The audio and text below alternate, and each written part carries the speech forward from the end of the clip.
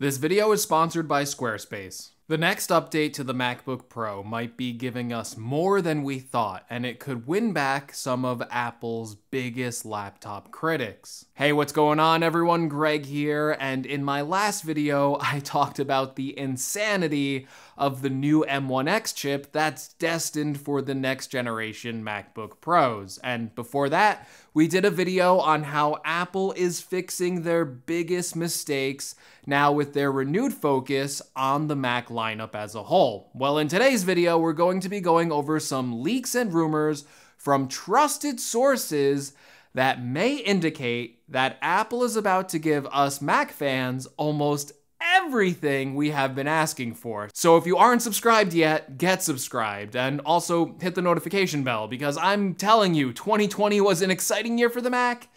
And I think 2021 might actually top it and be one of the biggest years for the Mac ever.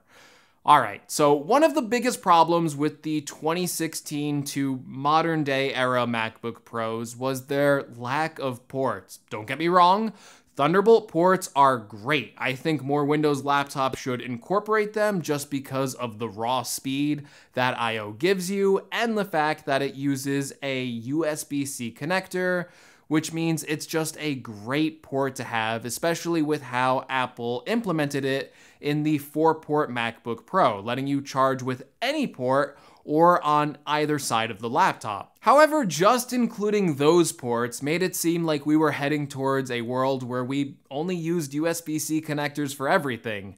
And five years later, we just aren't. Plenty of accessories still use other connectors, and other industries besides the computer industry stick with other ports like HDMI, meaning that Apple wasn't going to help remove legacy port connections like they kind of did with their adoption of USB on the original iMac. Now, while Apple can be stubborn at times, they can also change their mind just as easily, and a new report from Ming-Chi Kuo says that Apple is planning to bring back even more ports and connectors to the next MacBook Pro than we originally thought. Now, if you've been watching my videos regularly, and a special shout out to you if you are, you you know who you are. You know that Apple is already planning on bringing two ports back to the rumored 14 and 16 inch MacBook Pro. The first being the return of the MagSafe port for charging, which is basically a special connector with a magnetic charging cable that when you pull on the cable, the connector pops out rather than dragging your entire laptop down to the floor. The second port that's rumored to be returning is the SD card slot, which may not be as used as much as it was in 2016, but it is still an important connector for a lot of photographers and for people like me who make videos on YouTube. I still shoot all of my content on a camera that uses SD cards. And when I'm done recording this video, I'm gonna walk over to my camera, take out the SD card, and insert it into an adapter then plug that into my MacBook Pro to start editing this video. So having those ports back will be nice. But now, if not to stop the rumor train, Ming-Chi Kuo has another report out saying that Apple is also planning on bringing back the HDMI port to the MacBook Pro. Again, another connector that might be better replaced with USB-C, but the reality of the world we live in is that every TV has HDMI ports and a lot of monitors do as well. And one of the things that people like to do with an HDMI port is not only use them for external monitors, but also to plug into the TV to watch content on, and also plug into TVs or projectors at, say, their office to go over slides during a presentation. So yeah, the return of three ports, MagSafe, the SD card slot, and HDMI. Coupled together with four USB-C ports, these MacBook Pros would go a long way in winning back the people still using 2015 era MacBook Pros. But it's not just the ports. Like we talked about in my last video, the M1X looks like a powerhouse of a processor that's not only going to blow away the competition in the laptop world, but is potentially going to be powerful enough to rival the chips found in the Intel Mac Pro.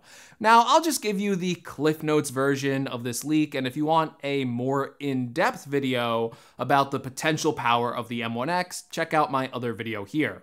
But basically, we are looking at a processor that will have 12 cores in total, with 8 high performance cores, that would potentially double the multi-core performance of the already multi-core performance of the M1 chip. So if we assume that's true, that means if we just look at a simple Geekbench benchmark, the only Intel Macs that would be able to beat the M1X chip in terms of multi-core performance are the super high-end 24 and 28 core Mac Pro. So, unlike the Intel MacBook Pros of the past, with their thermally compromised chassis and energy sucking x86 chips, we would not only be gaining even more power in the MacBook Pro, but also with efficiency gains that Apple has gained moving over to Apple Silicon, and that would likely mean a laptop that is thermally efficient enough to cool these chips giving us peak performance even at higher clock speeds. And if it resembles anything close to the M1 chip,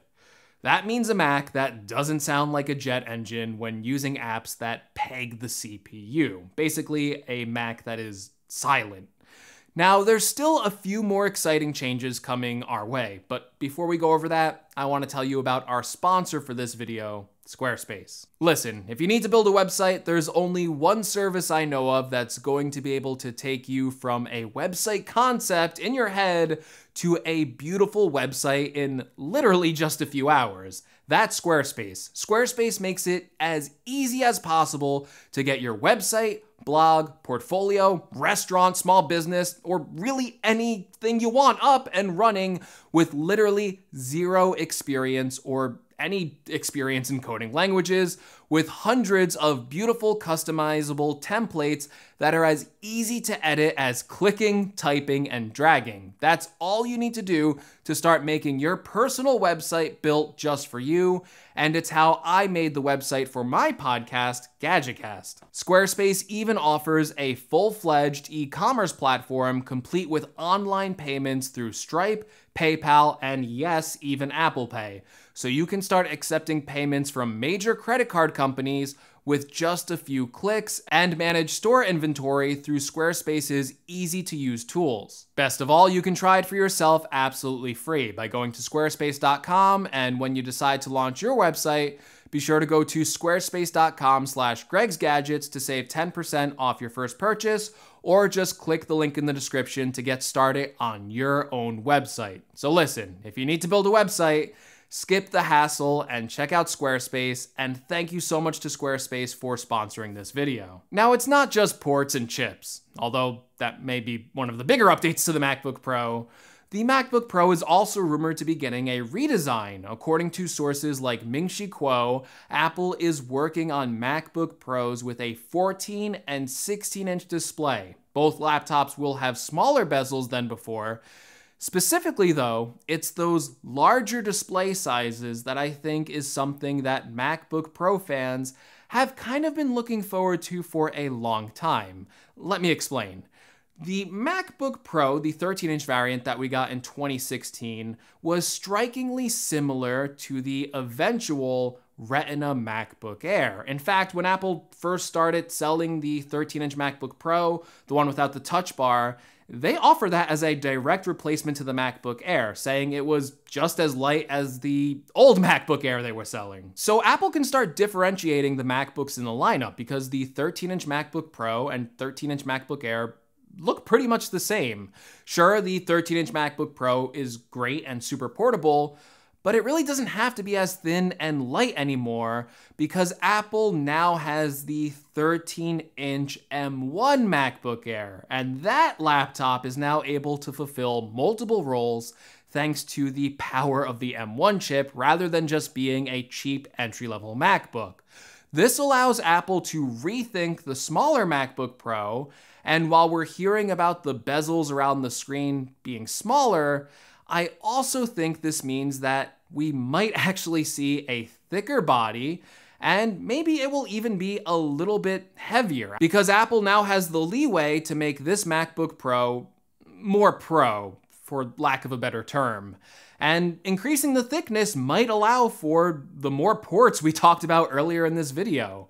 But it could also mean bigger battery capacity, and it could also make sure that Apple is making sure that the M1X chip is able to run at those sustained clock speeds by making sure there's actually adequate cooling inside of these next generation of laptops. And Apple has done a lot to fix the MacBook lineup over the years and their Mac lineup in general, from replacing the Butterfly keyboard to releasing the great 16 inch Intel MacBook Pro with its significantly better thermal envelope.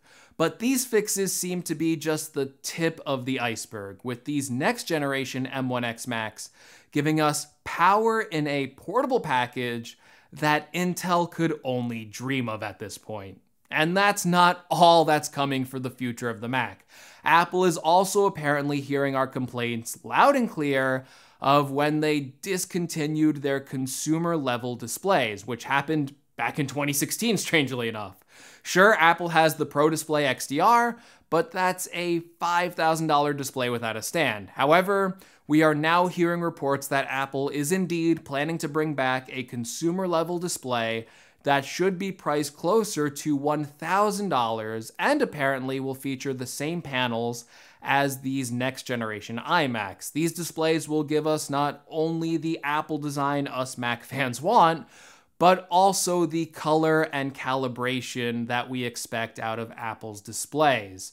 And they will match the displays of the products we plug into them, like the MacBook Pro. And to top it all off, Apple is apparently reading my diary every night because according to Jon Prosser, Apple is working on bringing colors back to the iMac lineup, which would be a throwback to the original iMac released all the way back in 1998. But that might just be a topic for an entirely new video.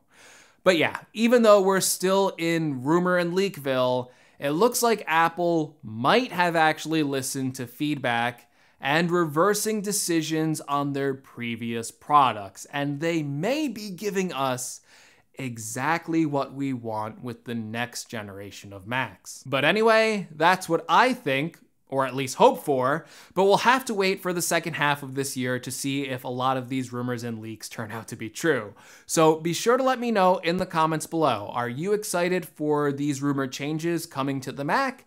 And do you think that Apple is giving us almost everything we want with these changes? As always, if you like the video, be sure to give me a like. If you want to see more from my channel, make sure you're subscribed. If you want to help the channel out in any way, make sure you check out some of the links in the description. And as always, thank you so much for watching, and I will see you all in the next video. Take care, everyone.